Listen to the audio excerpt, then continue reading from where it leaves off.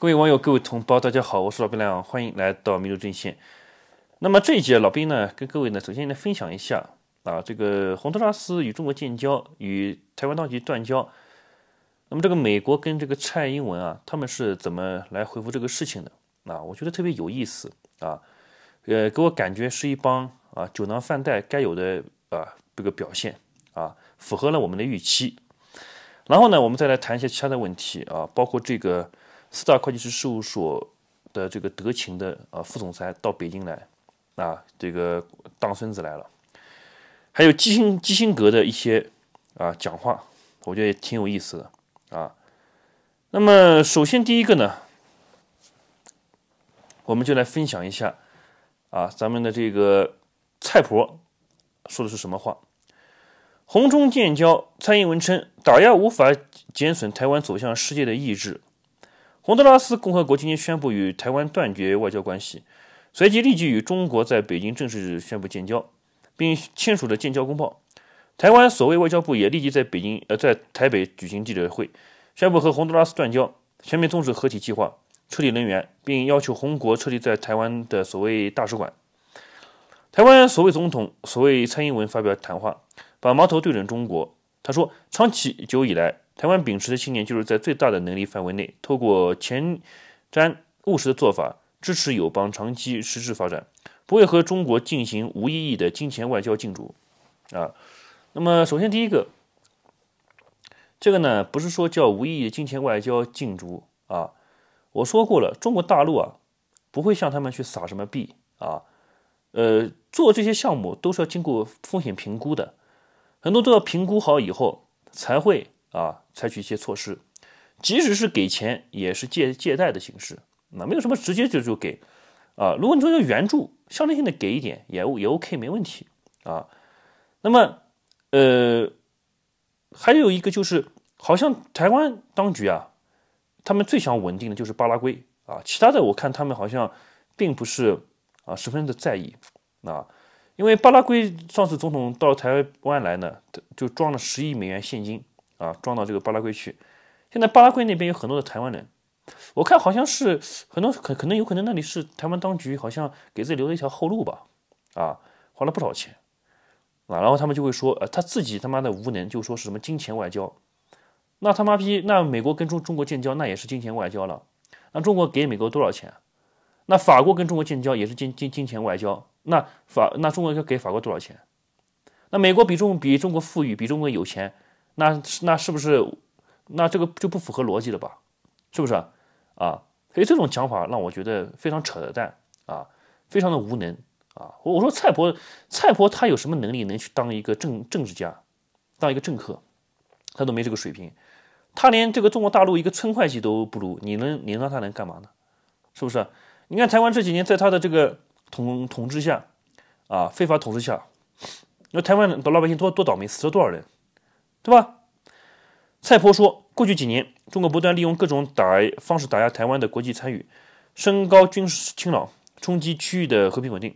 然而这些打压与威胁都不会改变中华民国和中华人民共和国互不隶属的事实，也无法减损台湾人民坚持自由民主、大步走向世界的意志。啊，蔡英文还说，台湾人民已经向世界证明，从不因威胁而退缩。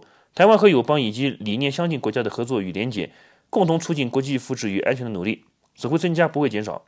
台湾将会继续和友邦以及国际上相同信念的伙伴并肩同行，为更好的世界一起努力。呃，中国外交部长秦刚今天在北京与洪都拉斯外长雷伊娜举行会谈，并签署了建交公报。公报指出，洪都拉斯共和国承认世界上只有一个中国，中华人民共和国政府是代表全中国的唯一合法政府，台湾是中国领土不可分割的一部分。那么我说过了啊。蔡婆这个话讲的呢，其实是不对的啊！中华人民共和国是跟中华民国实际上就是就是一个整体啊，只是说你那个是被这个推翻的啊一个政府。那么其实呢，中华民国也在中国啊。为什么这么讲？马英九不是要来大陆了吗？马英九来大陆不就代表了中华民国在大陆吗？对吗？那不那不那不就是就是一就就是一就是一个整体吗？对吧？他的英文解释跟法语解释都他妈是是一样的，对不对啊？就是别扯这些东西了啊，就让我觉得特别扯啊。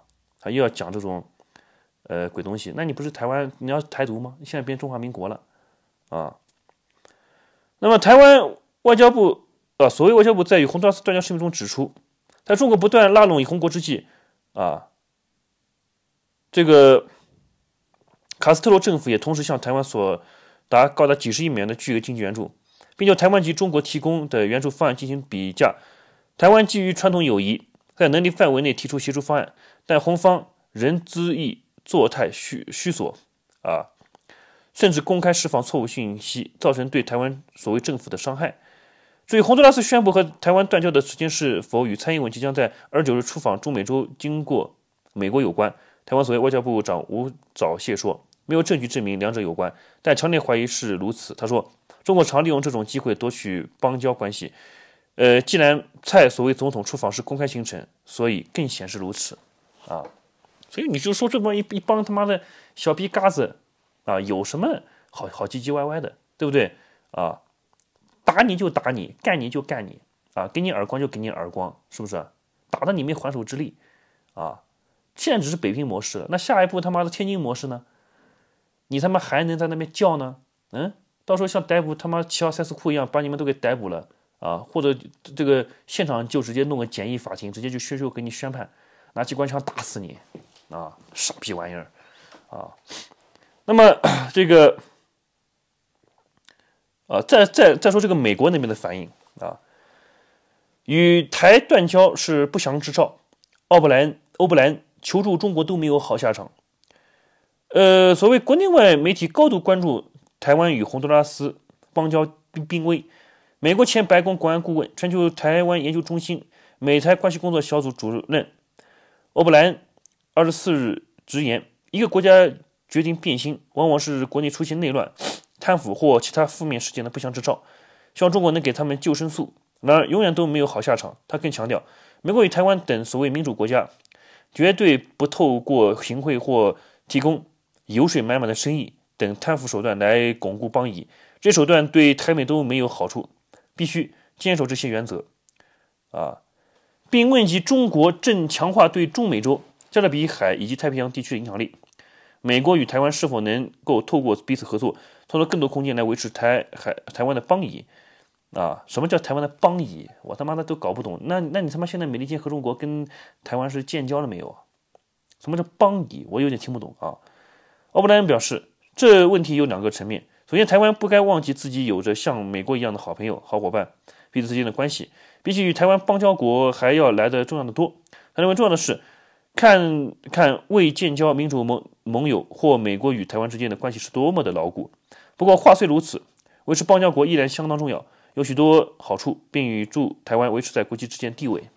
啊，呃，就说是跟中国大陆建交都他妈是不祥之兆。那你美国那时候跟中国大陆大陆建交？跟台湾当局这个断交，那他妈也是不祥之之兆了，是这个意思吧？那英国也是不祥之兆，法国也是不祥之兆，德国也是不祥之兆，全世界跟他妈中国建交的国都他妈是不祥之兆，是这个意思吧？嗯，所以说他讲这种话，就像那个抖音的 CEO 在美国国会他妈群群群战啊，舌战群魔，那美国那些所谓的议员，所谓的这些国会的这些议员。所谓的所谓的这些啊参参众两两会的这个议员，都跟他妈傻逼似的啊！被一个新加坡的呃被个新加坡人啊给怼的，他们都没话讲。那么现在这个事情呢，只能等到二零二四年再再大选了，再去决定这个事情的走势了。那你就可以看得出来，今天今天西方这些政客的水平如此之糟糕啊！他我说过，他们越来越像台湾了，而不是说台湾越来越像美国，而是台美国越来越像台湾了。啊，现在美国搞的这一套不就是跟台湾当局一模一样的？永远都是小圈子、家族利益，利益是第一位的。那老百姓，那去你妈的蛋！你们是打工仔，是韭菜，是应割你们啊！然后这个政治上啊，荒淫无度啊，没有任何的政绩。美国现在有任何的政绩没有？没有任何政绩啊！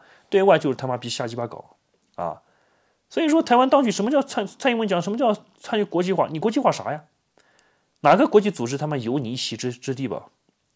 啊，你他妈参加个奥运会都只能叫中华台北啊！所以我说北京啊，要踏平你们也快了啊！现在用这种方式来羞辱你，对吧？啊，给你妈逼剃光头。所以这个事情呢，我们啊，这两个事情就说到这儿。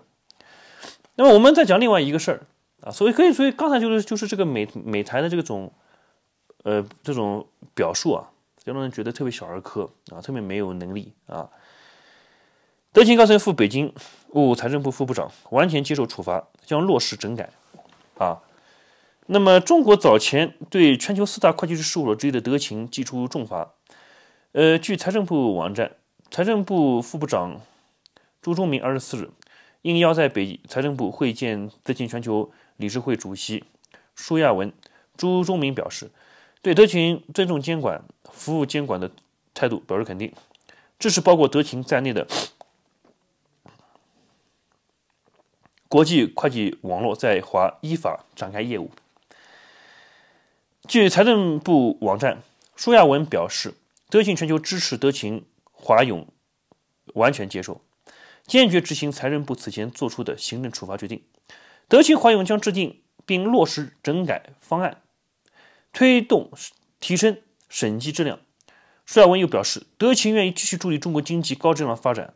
啊，那么大家都知道啊，这个德勤呢，作为啊四大这个会计师事务所，那么此前呢，因为啊这个故意啊帮这个中国的。啊，一些国有企业做假账，啊，故意不去给他审计他，啊，对吧？这个就是选择性的这个审计，那么造成中国的一些国有财产的一些啊损失流失啊，那么再加上北京现在本身对四大会计师事务所就非常不满意啊，觉得他们太牛逼了啊，太屌了，在中国做了很大的业务，赚了很多的钱啊，但是呢，却在这个里面啊有一些不三不四的一些举动。对吧？把中国很多这个数据提供给美国啊，干嘛的？那么就必须要要求他们进行整改，对吧？那必须要杀一只鸡儆猴啊！那不很不幸，德勤呢就成为这只杀鸡儆猴的这只鸡。那么之前呢，中共也是要求国有企业不得找会计师四大会计师事务所来帮他们做审计，因为这个很危险啊！你的你的这个经济数据，呃，高度敏感的数据控制在他们手里面，那对你是不利的。所以说呢，我们现在呢。啊，就是用这样的方法去矫正他们的思路啊，矫正他们的思路，那么也是用这种方式干一下他。那么可见呢，这种美美资企业啊，这种像这种德勤这种啊，他们也是非常的害怕的，他们也是离不开中国的业务啊，看得出来中国的业务量非常庞大，他们也是他们觉得主要的一个增长点啊，所以这样的话，中国市场的重要性，通过这种会计师事务所的这种。啊，领导人过来的这种表现啊和认和认怂，就代表了说中国确实是一个他们不可能脱钩的一个市场啊，不可能脱钩的一个市场。呃，所以说中国的在国际的重要性，我说过，INF 主席也说的很清楚了，中国将推动二零二三年占全球经济增长百分之三三分之一啊，三分之一。那么我们最后再来看一下这个基辛格。基辛格若中美爆发第二次冷战，将比第一次危险。美国前国务卿基辛格三月二十五日表示，若中国与美国展开第二次冷战，将比第一次更危险。基辛格二十五日在接受《西班牙世界报》采访时被问及第二次冷战是否会比第一次更危险，他的回答是 “yes”。基辛格指出，中美之间可能爆发新冷战。他认为，两国拥有相当的经济资源，而第一次冷战期间，美国与苏联的情况并非如此。他指出，北京和华盛顿现在是对手，不应等中国西化。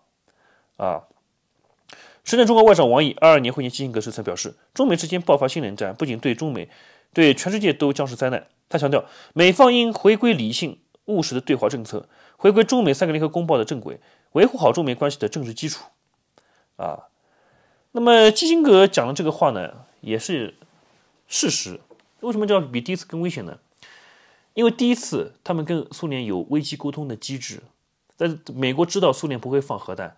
所以他用其他的方法、方式、方法，他全都可以使用，任何的手段他都可以作为他的工具箱里的工具拿出来。但是当中国对待美国不像苏联那样子会跟他有危机沟通机制，那么现在俄罗斯也学会了中国，中国也告诉他应该这样子去做。那俄罗斯现在也是不接任何美国的国防部的电话。那以这样的方式，然后在这里俄罗斯宣布什么部署核导弹。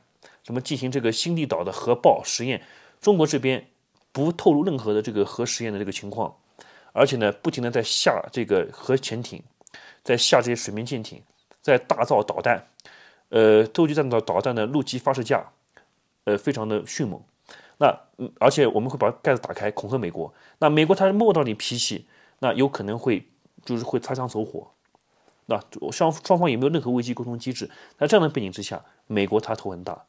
所以基辛格他这样的判断跟我之前的分析是其实是一模一样的啊。有可能我们就是中国就是中国就做好了，因为中国跟美国实打实的打过仗，苏联他没有跟美国打过仗，中国跟美国啊到已经打过两次仗了。啊，应该是确切说应该是三次，因为这个国民党它是全副美式装备，包括还有美国的，就像就像现在的这些在乌克兰的这些美军的这些战地指挥官参谋，直接进入到这个啊这个中国，包括你看英国对吧，还派什么紫石英号开进长江，对吧？啊支持支持这个这个这个这个这个国民党啊，那么这这其实是一次被打败，那么第二次就是在朝鲜战争，第三次就是在越越战。啊，还有一个，还有一个第四次，第四次就是在这个阿富汗，啊，都由中国来支持，他基本上他都输掉，啊，所以说美国它就是一只他妈纸老虎，啊，但是危险还是存在的。谢谢各位，谢谢。